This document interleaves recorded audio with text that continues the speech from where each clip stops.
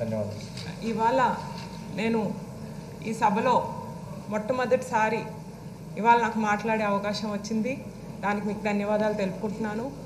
అదేవిధంగా నాకు ఈ అవకాశం ఈ సభలోకి వచ్చే అవకాశం కల్పించిన మా ప్రియతమ నాయకులు నారా చంద్రబాబు నాయుడు గారికి నేను ధన్యవాదాలు తెలుపుకుంటున్నాను. అదేవిధంగా మా నన్ను ఎన్నుకున్న మా రాజమండ్రి ప్రజలకు కూడా నేను ఈ సందర్భంగా ధన్యవాదాలు తెలుపుకోవాలనుకుంటున్నాను అధ్యక్ష. మీతో చిన్నతనం నుంచి మా కుటుంబానికి ఒక అనుబంధం ఉంది అధ్యక్ష ఇవాళ నేను పుట్టిన జిల్లా అయినటువంటి శ్రీకాకుళం జిల్లా నుంచి మీరు ఇక్కడ స్పీకర్గా ఎన్నుకోబడినందుకు చాలా ఆనందపడు గర్వపడుతున్నాను అధ్యక్ష నాన్నగారు ఈ సభలో నాలుగు సార్లు ఎమ్మెల్యేగా ఈ సభకి ఆయన రావడం ఆయన ఎంతో పేరు సంపాదించుకోవడం జరిగింది అధ్యక్ష ఆయన అడుగుజాడల్లో నడుస్తూ ఆయన ఆశయాల్ని ముందుకు తీసుకెళ్ళే అవకాశం ప్రజలు ఇవాళ నాకు కల్పించారు. తప్పకుండా ఆ దారిలో నేను నడుస్తానని మీకు తెలియజేస్తున్నాను అధ్యక్ష. ఈరోజు టాపిక్ విషయానికి వస్తే implementation of right to education act. అది ఈ టాపిక్ని నా మొదటి మొట్టమొదటిసారి నేను మాట్లాడుతున్నప్పుడు ఈ విద్య చదువు గురించి మాట్లాడటం రైట్ టు ఎడ్యుకేషన్ యాక్ట్ గురించి మాట్లాడటం చాలా ఆనందం కలిగిస్తుంది అధ్యక్ష. ఎందుకంటే చదువు అన్నది మన సమాజానికి మూలస్తంభం లాంటిది. ఇవాళ మన రాష్ట్రంలో అందరికీ విద్య అందితే తప్పకుండా ఆంధ్ర రాష్ట్రం ముందుకి అడుగులు వేస్తుందనడంలో ఎటువంటి సందేహం లేదు. ఎందుకంటే మనకి ఎగ్జాంపుల్ తీసుకుంటే మనకి కేరళ రాష్ట్రంలో ఇల్లిటరసీ ఇల్లిటరసీ రేట్ అనేది చాలా తక్కువ ఉంటుంది. అది డెవలప్మెంట్లో కూడా ముందడుగులో ఉంటారు వాళ్ళు. అదేవిధంగా మనకు కూడా మనం కూడా ఈ లిటరసీ రేట్ని పెంచుకోగలిగితే రాష్ట్రం ముందడుగు వేయడం ఎటు- వేస్తుందని కూడా నేను నమ్ముతున్నాను అధ్యక్ష. ఏదైతే ఇరవై ఐదు శాతం సీట్లు విద్యా హక్కు చట్టం ప్రకారం ఇరవై ఐదు శాతం సీట్లు అనాథ నిరుపేద ఎయిడ్స్ బాధిత పిల్లలకు ప్రైవేట్ పాఠశాలల్లో కేటాయించాలి అధ్యక్ష. ఈ విధంగా ప్రభుత్వం కూడా చర్యలు తీసుకోవాలి అధ్యక్ష. సంబంధించిన మంత్రి గారిని కూడా రిక్వెస్ట్ చేస్తున్నాను. ఈ విషయంలో వాళ్ళు దృష్టి పెట్టాల్సిన అవసరం ఎంతైనా ఉంది అధ్యక్ష. అదేవిధంగా ఇప్పుడు మే- మేజర్గా మనకి ఈ ప్రైవేట్ కళాశాలలన్నీ కూడా చాలా ఎక్కువ ఫీజులు అయి ఉండడం కూడా చిన్న నర్సరీ స్కూల్ పిల్లల దగ్గర నుంచి కూడా చాలా ఫీజు కట్టాల్సిన పరిస్థితి పేరెంట్స్కి ఉంటుంది అధ్యక్ష. ఆ విషయంలో చాలా ఇబ్బంది పడుతున్నారు పేరెంట్స్ అందరూ కూడా. ఆ విషయంలో కూడా ప్రభుత్వం చర్యలు తీసుకుని కొంచెం ఫీజు అన్నది కొంచెం దాన్ని ఒక స్ట్రక్చరైజ్ చేసి అంటే కొంచెం త తగ్గించగలిగితే ఇంకా చాలామంది పిల్లల్ని కూడా పేరెంట్స్ స్కూళ్ళలో పంపిస్తారు. అధ్యక్ష అదేవిధంగా ప్రభుత్వ కళాశాలలు ఏమైతే ఉన్నాయో కొన్ని ఇంకా మనం ఫెసిలిటీస్ మెరుగుపర పరచాల్సిన అవసరం ఎంతైనా ఉంది. ఎందుకంటే చాలామంది పేరెంట్స్ ప్రభుత్వ కళాశాలలో సరిగా ఫెసిలిటీస్ సరిగా లేవని చెప్పి ఆరోపణ చేస్తూ కూడా వాళ్ళు స్కూళ్ళకు పంపించట్లేదు. ఎందుకంటే ప్రైవేట్ కాలేజీల్లో జా స్కూళ్ళలో జాయిన్ చేయాలంటే అది ఖర్చు కూడా ఎక్కువ అవుతుంది. సో మన ప్ర ప్రభుత్వం కూడా ఈ విషయం మీద దృష్టి పెట్టి ప్ర ప్రభుత్వ స్కూల్స్ ఏవైతే ఉన్నాయో వాటిని వాటి ఫెసిలిటీస్ని కూడా మెరుగుపరచాల్సిందిగా కోరుకుంటున్నాను అధ్యక్ష.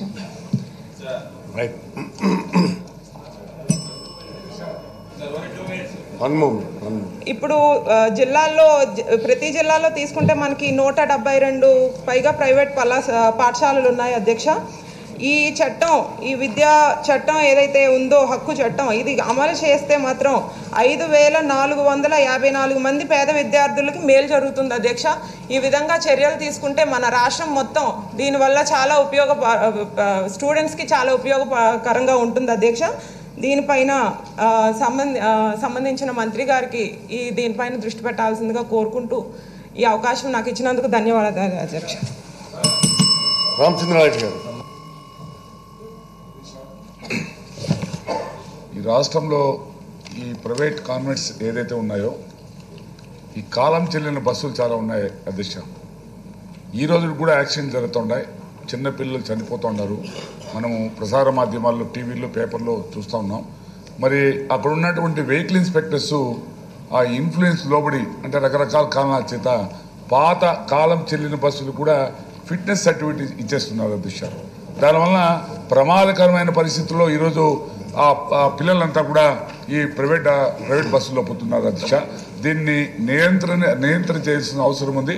ఖచ్చితంగా ప్రభుత్వం కఠినంగా చర్యలు తీసుకొని ఆ కాలం చెల్లిన బస్సులు ఎటువంటి బస్సులు కూడా తిప్పకుండా చేయాలని చెప్పి తమ ద్వారా నేను మంత్రి గారికి విజ్ఞప్తి చేస్తున్నాను. రెండోది అధ్యక్ష ఈ రేషన్లే రేషన్ ముఖ్యంగా స్కూల్స్ చాలా గ్రామాల్లో మూసేశారు అధ్యక్ష అంటే అక్కడ పిల్లల సంఖ్య తక్కువగా ఉంది. ఐదు మంది పిల్లలు ఉన్నారు ముగ్గురు పిల్లలు ఉన్నారని చెప్పి రాష్ట్రంలో చాలా స్కూల్స్ మూసేశారు. దీని మీద కూడా మంత్రి గారు సురేష్ గారు దీని మీద క్లారిటీ ఇవ్వాల్సిన అవసరం ఉంది. ఎందుకంటే మా నియోజకవర్గం కూడా పీలే నియోజకవర్గంలో చాలా స్కూల్స్ మూసేశారు. కానీ గ్రామాల్లో మేము పోయినప్పుడు శాసనసభ్యులు పోయినప్పుడు పర్యటించినప్పుడు ఆ స్కూల్స్ తిరిగి మాకు తెరిపించాలని చెప్పి విజ్ఞప్తి చేస్తున్నారు. దీని మీద కూడా మంత్రి గారు స్పష్టత ఇవ్వాలని చెప్పి తమ ద్వారా నేను కోరుతున్నాను అధ్యక్ష. గణేష్. మీ ద్వారా మంత్రివర్యుల్ని ఈరోజు ప్రైవేట్ స్కూల్స్ నియంత్రణ కోసం అని చెప్పేసి one of nineteen ninety four జీవోని పటిష్టపరిచి అమలు చేస్తామని చెప్పేసి ప్రభుత్వం ఇంతవరకు కూడా ఏమీ మాట్లాడలేదు. సో దాని మీద ప్రభుత్వం వారి యొక్క నిర్ణయాన్ని తెలియజేసిందిగా కోరుతున్నాం అలాగనే పేరెంట్స్ సమావేశానికి తగిన అధికారాలు ఇస్తామని కానీ ఇంతవరకు కూడా ప్రకటించలేదు. దాని మీద కూడా ఒకసారి మంత్రివర్యులు తెలియజేయాలి. మరి ఇలాంటి పరిస్థితుల్లో ప్రైవేట్ ఎడ్యుకేషన్ని నియంత్రించాలంటే ఉప- ముఖ్యంగా గవర్నమెంట్ స్కూల్స్ని కూడా పటిష్టపరచాలి అధ్యక్ష. దాంట్లో భాగంగా డిఎస్సి రెండు వేల పద్దెనిమిది మనం చేసాం ఎగ్జామ్ కండక్ట్ చేసాం పద్దెనిమిది వేల పోస్టులు ఖాళీగా ఉన్నాయి. దానిపైన ఏ చర్యలు తీసుకుంటున్నారనేది ఒకసారి మంత్రివర్యులు తెలియజేయాలి అధ్యక్ష. నేటికి ఈరోజు ఏడు వేల ప్రాథమిక పాఠశాలలేమో ఏకోపాధ్యాయ బదులు బదులుగా ఉన్నాయి అధ్యక్ష.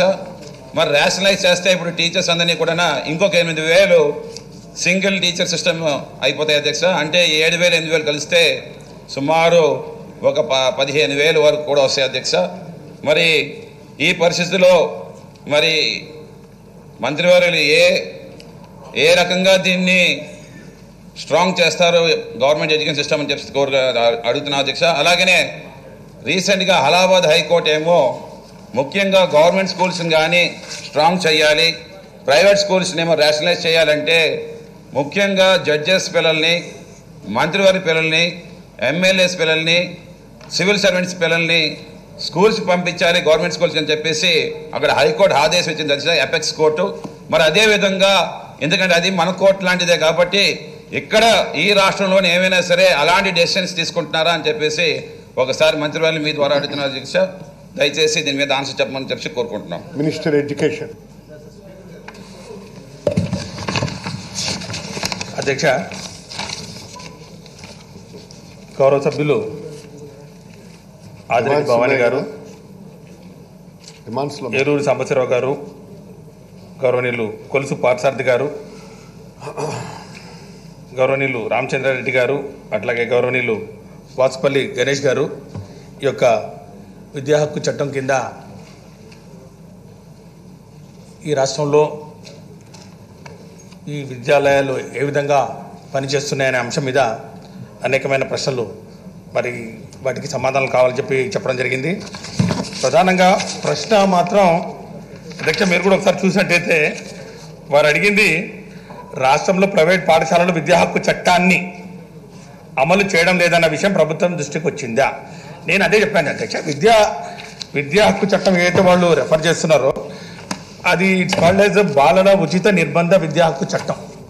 ఇట్స్ ఆల్మోస్ట్ ఎలాబరేట్ అధ్యక్ష. It it's one of the finest right to education acts which has been ever enacted after independence చాలా కమిషన్లు వచ్చాయి రిఫార్మ్స్ వచ్చాయి. కానీ ఈ చట్టంలో ఈ అంశాల్ని పొందుపరుస్తూ రాష్ట్ర ప్రభుత్వం కూడా ఉన్న అప్పుడు ఉన్నటువంటి పాలకులు రెండు వేల తొమ్మిదిలో ఈ కేంద్ర ప్రభుత్వం చట్టం వేస్తే రెండు వేల పదిలో మనం కూడా దానికి సంబంధించినటువంటి ప్రొసీజర్స్ చేస్తూ ఒక చట్టాన్ని తయారు చేయడం జరిగింది అధ్యక్ష. ఇందులో వీటిని అమలు చేయాలనే ఉద్దేశంతో రెండు జీవోలను కూడా తీసుకురావడం జరిగింది అధ్యక్ష. ఒకటి GO number forty two dated thirty seven two thousand ten. అది ప్రధానంగా ఫీ స్ట్రక్చర్. ఈ ఫీ స్ట్రక్చర్ ఎలా ఉండాలి అనేది ఇప్పుడు ఈ యొక్క విద్యా హక్కుల చట్టంలో ప్రధానంగా ప్రైవేట్ పాఠశాలలకు సంబంధించినంత వరకు గౌరవ సభ్యురాలు చెప్పినట్టు ఈ యొక్క implementation of reservations that is very important twenty five percent of the reservations had to be earmarked for childrens of disadvantage groups and weaker sections అని దీని కింద ఈ జియో నెంబర్ ఫార్టీ ఫోర్ ఒకటి తీసుకురావడం జరిగింది అధ్యక్ష. దాంట్లో వారు చెప్పినట్లు ఈ ఆర్ఫన్స్ హెచ్ఐవి ఎఫెక్టెడ్ చిల్డ్రన్కు ఫైవ్ పర్సెంట్ షెడ్యూల్ కాస్ట్ వాళ్ళకు టెన్ పర్సెంట్ అట్లాగే గిరిజనుల schedule ట్రైబ్కు four percent and weaker sections and all these pertains to families below poverty line so sixty thousand income ఉన్న వాళ్ళకి ఈ ట్వంటీ ఫైవ్ పర్సెంట్ రిజర్వేషన్ ఇవ్వాలని ఈ Jio number forty four ద్వారా చెప్పడం జరిగింది అధ్యక్ష. అట్లాగే జియో నెంబర్ ఫార్టీ టూ ద్వారా ఒక ఫీ స్ట్రక్చర్ని కూడా మేము అప్పుడున్న ప్రభుత్వాలు కూడా చెప్పడం జరిగింది అధ్యక్ష. చాలా స్పష్టంగా ఈ ఫీజు ఎంత ఉండాలి? ముఖ్యంగా గ్రామీణ ప్రాంతంలో ఎంత ఉండాలి? ప్రయాణం ఎంత వసూలు చేయాలి? నెలకు ఒకసారి వసూలు చేయాలా? రెండు నెలలకు ఒకసారి వసూలు చేయాలని చెప్పి జీవో నెంబర్ ఫార్టీ టూలో it it very clearly laid out. For example ఒక ప్రైమరీ స్కూల్లో అర్బన్ ఏరియాలో ప్రయాణం తొమ్మిది వేల రూపాయలు అట్లాగే రూరల్ ఏరియాలో ఎనిమిది వేల ఎనిమిది ఏడు వేల ఎనిమిది వందల రూపాయలు. అంటే this upper limit up to గరిష్టం. అంతకని అంతకన్నా తక్కువ కూడా ఉండాలి. సో అట్లాగే per month it comes to seven fifty rupees in urban area and rural ఏరియాలో around six fifty rupees. This is the fee structure as per GO number forty two. So ఏమైందంటే అధ్యక్ష ఇప్పుడు పార్థసారథి గారు కూడా ఒక ప్రశ్న అడగడం జరిగింది. ఎందుకంటే సాంబశివరావు గారు మమ్మల్ని అడిగారు ఈ ప్రభుత్వం మీరు రాజన్న బడిబాట ద్వారా ఎన్రోల్మెంట్ మరి ఈ విధంగా చేస్తామని చెప్పారు కదా ఈ ఎన్రోల్మెంట్ ఏ విధంగా పెరిగింది అని చెప్పినప్పుడు వారు ఒక సమా వారి ఒక ప్రశ్న అడిగారు. గత ప్రభుత్వంలో ఈ ఎన్రోల్మెంట్ రేషియో ఏదైనా ఉన్నా లిటరసీ రేట్ ఏదైనా ఉన్నా ఏ విధంగా ఉంది ఏ విధంగా వాళ్ళు పెంచారని. అధ్యక్ష గత ప్రభుత్వంలో తీసుకున్న చర్యలు ఏమిటి అని చెప్పి కూడా సాంబశివరావు గారు చెప్తున్నప్పుడు some of the important facts which we cannot forget is literacy rate in Andhra Pradesh as on today ఈ sixty seven point four one percent lower than the national average of seventy three percent when it comes to net enrolment ratio for primary section it is 72.1% when compared to the Karnataka and Tamil Nadu, which stands at 96.4% and 90.9%.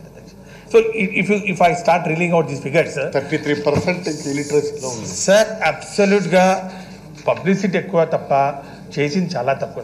ఈ రెండు జీవోలు ఏవైతే నేను చెప్పడం జరిగిందో ఈ forty two GO forty four GO forty four GO ఎందుకు implement కాలేదంటే అధ్యక్ష దే జస్ట్ నేను అడిగినప్పుడు మా వాళ్ళని అడిగినప్పుడు దే సెట్ సార్ దీని మీద కోర్టు కేసెస్ పెండింగ్ ఉన్నాయి sir private institutions have gone to the court and court has issued stay order రెండు వేల పది నుంచి అధ్యక్ష nobody is bothered to vacate this stay or nobody has shown any interest to implement this uh, right to ఇప్పుడు వాళ్ళు వచ్చి తగుదునమ్మా అని చెప్పి మీరేం చేశారు?